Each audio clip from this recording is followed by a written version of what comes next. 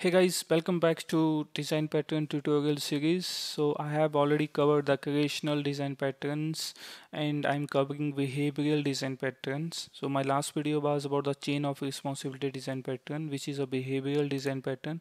So I will provide the link for all those video in the description of this video.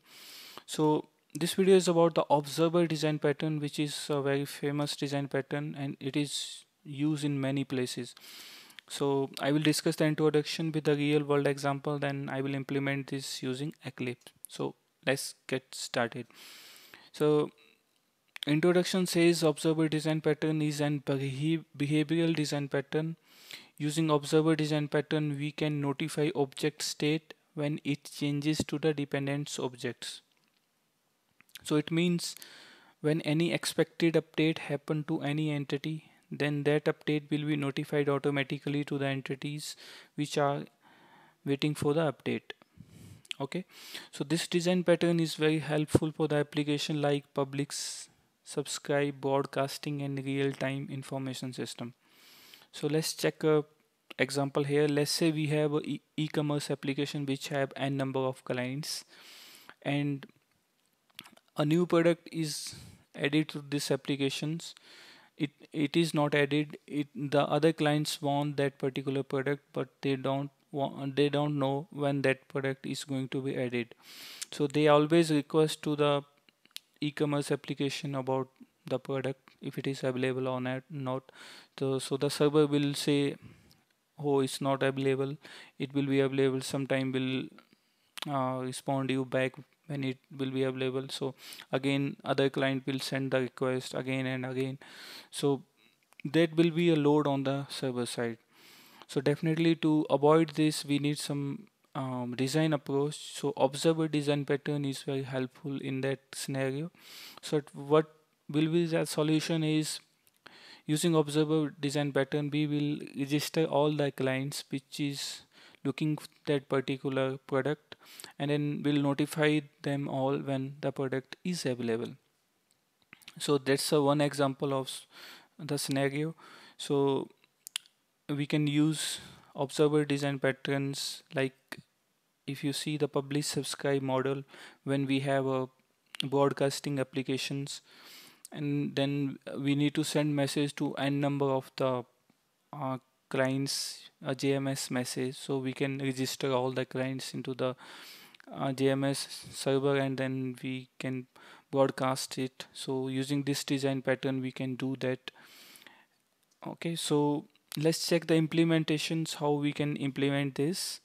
So to implement this we must have a concrete implementation. We should have an interface where we have we must have a add client and delete client methods and we should have a notify method so we generally need these three methods where we will add the clients or we can delete them or third is to notify them. So here I have created a implementation class where I have implemented this interface. So I'm overriding these methods. So this should be at the server side we should have this implementation at the server side. And for this example we must have the clients. And for other example uh, it let's say for this publish subscribe model we must have a JMS message. So here I have created a product class. So in the product class I I'm having the product name and cost so let's do the implementation in product observer class. We need to create a list to register all the clients. So let's say we have a list of clients. Should be a new array list. And here we can add a client. So we can use the add method here we can pass the client. Okay so yeah it should be clients. Let's change the name. Yeah it should be client. So in the delete method we can remove them. Okay so let's say we have can use remove method.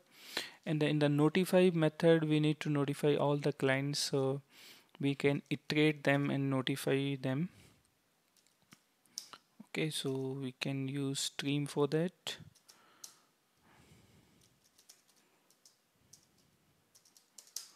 Okay so here if you see the client class here in the client class we have a product which we want to notify from the server side and we have a available flag. So we can make this flag as a true into notify method. So let's do that. Set type label we can say true. So our implementation is done. We have registered all the clients. We have add client and delete client method and we have a notify also so let's create a test class where we can test this.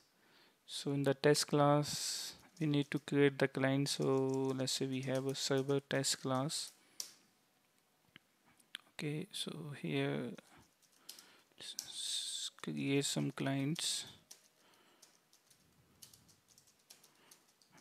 So here we have a product which we want to add to the client so let's give a name. And here we need to give the cost. Okay so should be big decimal.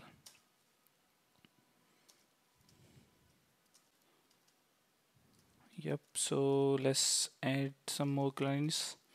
So as per the diagram we have six clients so let's add all six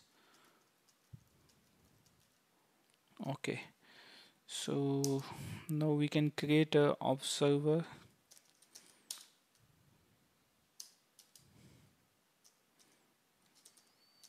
Equal to equal to new product observer.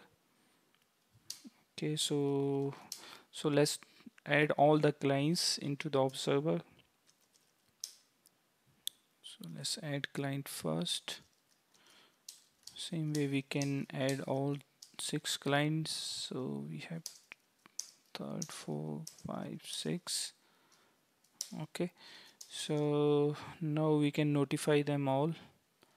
So this we can use the notify method here. Notify clients. Okay it should be notify clients so yep our cl test class is done. So this will notify all the clients and it will set the flag as true.